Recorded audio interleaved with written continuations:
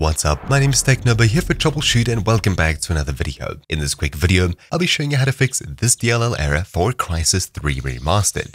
Yes, I'm on Windows 11 here, but this fix will work for Windows 10 as well. If you see this error, don't worry, nothing bad is happening. All that's gone wrong is that your computer's missing a specific DLL file, or it's become corrupt or unreachable for some other reason. These files are needed as they contain bits of code that programs use. Without them, they can't function properly. And these DLL files are distributed by Microsoft themselves through official installers. So if you've come across a video telling you to download DLLs, you definitely shouldn't follow them. You should always get the official installer from the official source to get the DLLs in them. Anyways, with that warning out of the way, let's go ahead and download the installer to fix this error. I'll open up the link in a browser. You'll find it in the description down below.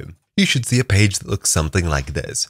Simply scroll down and click the orange download button. Then a file will be downloaded onto your computer. This is the DirectX End User Runtime Installer.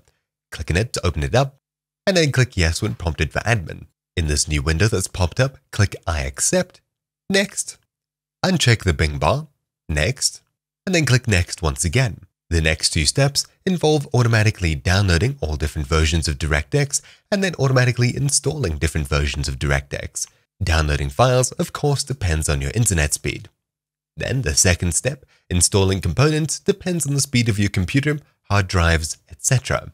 Then it's done. All you need to do is click Finish. At this point, you should be able to fire up games and programs that you were having issues with previously, but if you're still getting errors and issues, make sure to restart your computer and then try the games and programs once more. But anyways, that's about it for this video. Thank you all for watching. My name's been for TroubleChute, and I'll see you all next time. Ciao!